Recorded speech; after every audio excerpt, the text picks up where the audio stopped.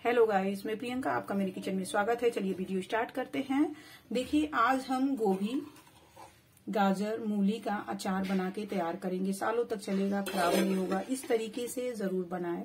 देख सकते हैं आप, ये कैसा दिख रहा है अचार। बहुत ही टेस्टी अचार बन के तैयार हुआ है। देखिए, इस तरीके से ज़रूर बनाए अचार को। देख सकते हैं आप कितना खिला खिला सा अचार दिख रहा है। चलिए वीडियो स्टार्ट करते हैं। अचार बनाना शुरू करते हैं। देखिए, हमने चूल्हे पे पैन को रख दिया है और हम चूल्हे को ऑन कर देते हैं। अब इसमें हम डालेंगे सरसों का तेल हमने ले रखा है। देखिए हमें एक बड़ा चम्मच के अनुसार हम इसमें सरसों का तेल डाल देंगे।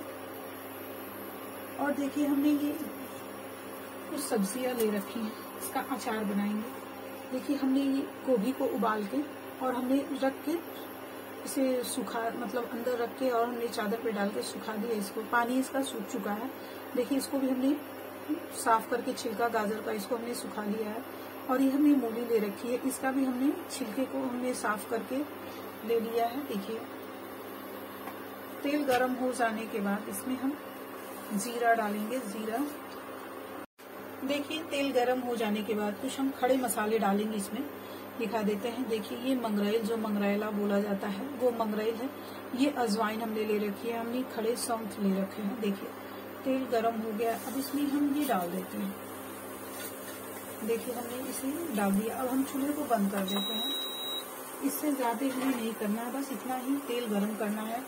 उसके बाद से हम ये अचार डाल देंगे। इस तरीके से आप अचार बनाएँगे, सालों साल चलेगा। खराब नहीं होगा, बहुत ही स्वादिष्ट अचार बन के तैयार होगा। देखिए अब इसे हम गोभी को डाल देते हैं इसमें।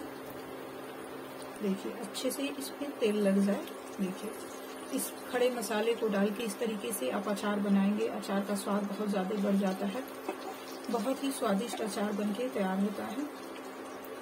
देखिए, इसे हम अच्छे से ऐसे कर देते हैं कि तेल अच्छे से गोभी पे लग जाए। उसके बाद से हमने जो और सब्ज़ियाँ ली हैं, उसको हम डालेंगे। देखिए अब इसे अच्छे से लग जाना चाहिए इस पर देखिए, अब इस समय हम डाल देंगे ये गाजर, जो हमने गाजर को साफ़ करके लिया था, और ये मूली। इसको भी हम डाल देते हैं। देखिए, हमने इसे डाल दिया। अच्छे से अब इसे हमें मिला लेना है।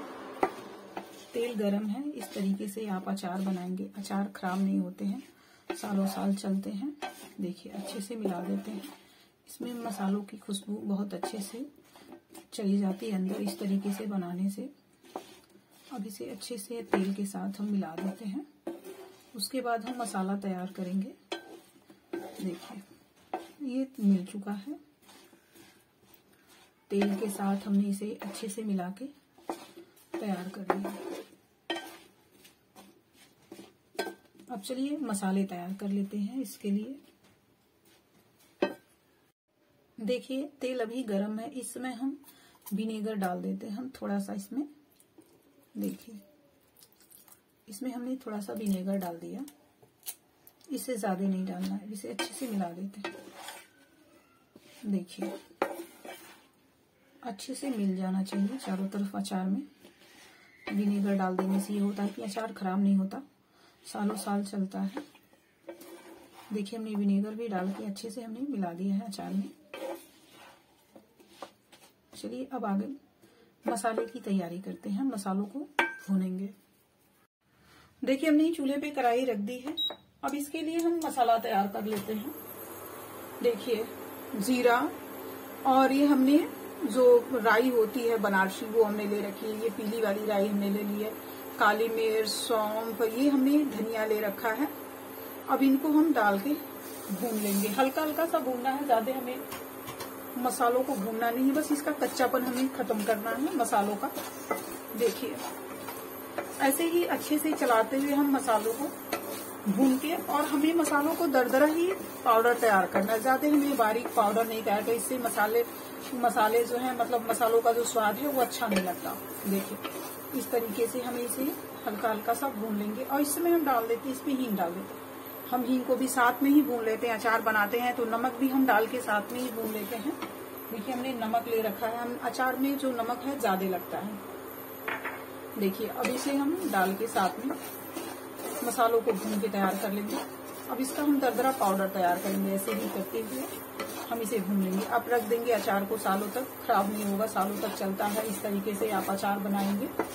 देखिए, अब इसे अच्छे से हमें भून के तैयार कर लेना है। देखिए ऐसे ही करते हुए हमें अच्छे से भून के तैयार कर लेना इसे। देखिए, मसाले भून के तैयार हो रहे हैं। अब इसे हम रख दे रहे हैं ठंडा होने के लिए। ठंडा हो जाएगा तो इसका हम पाउडर तैयार करेंगे, दरदरा।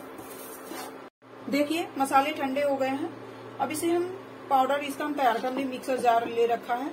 अब इसमें हम डाल के इसका हम पाउडर तैयार कर लेंगे। अब इसे हम साइड में कर लेते हैं।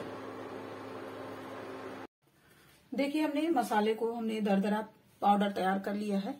अब इसमें से हम थोड़ा सा डाल देते हैं। अभी ज़्यादा नहीं डालेंगे, जिसके ज़रूरत के अनुसार हम डालेंगे। और हमने ये तीखे के अनुसार लाल मिर्च पाउडर ले लिया, कश्मीरी लाल मिर्च। ये तीखा नहीं होता कलर के लिए होता है। हमने हल्दी पाउडर ले लिया। अब इन मसालों को डाल देते हैं इसमें। हमने मसालों को डाल दिया। अब अच्छे से हमें मसालों को इसमें मिला लेना है, ठीक है? ज़रूरत के अनुसार इसमें हम तेल डालेंगे। हमने तेल गरम करके रखा हुआ है पहले से। हम अचार जब बनाते हैं, पहले से ही तेल को गरम करके हम रख लेते हैं। जब ज़रूरत पड़ता है, उसके अनुसार हम इसमें तेल डाल देते हैं। कभी भी अचार बनाते समय तेल को गरम करके ही डालें। और देखिए, अच्छे से हमें अचार में मसालों को मिला लेना है। बहुत ही अच्छा अचार टेस्टी बन के तैयार होता है। इस तरीके से आप अचार बनाएँगे, बहुत स्वादिष्ट। अचार इस तरह से सालों साल चलेगा, खराब नहीं होगा। देखिए, इसमें हम थोड़ा सा तेल डाल देते हैं। हमने गरम करके रखा था, हमने दूसरा अचार बनाया था, बच गया था इतना। और हम गरम करके क्या करते हैं, बॉटल में तेल रख देते हैं। जब ज़रूरत पड़ता है, अपना अचार फटाफट बना लो। तेल गरम करने के मतलब इंतज़ार करने की ज़रूरत नहीं पड़ेगी, गरम करो, ठंडा करो। और फिर देखिए, हमने इसे अच्छे से मिला दिया। देखिए। इस तरीके से हमने गोभी, गाजर और मूली का अचार हमने बना के तैयार कर लिया। देखिए, अगर आपको रेसिपी समझ में आए तो वीडियो को लाइक करें, चैनल को सब्सक्राइब करें, ज़्यादा से ज़्यादा शेयर करें। देखिए, हमारा अचार बनके हमने अपने अचार को बना के तैयार कर लिया। आप देख सकते हैं, बहुत ही टेस्टी अचार बनके तैयार हुआ है। देखिए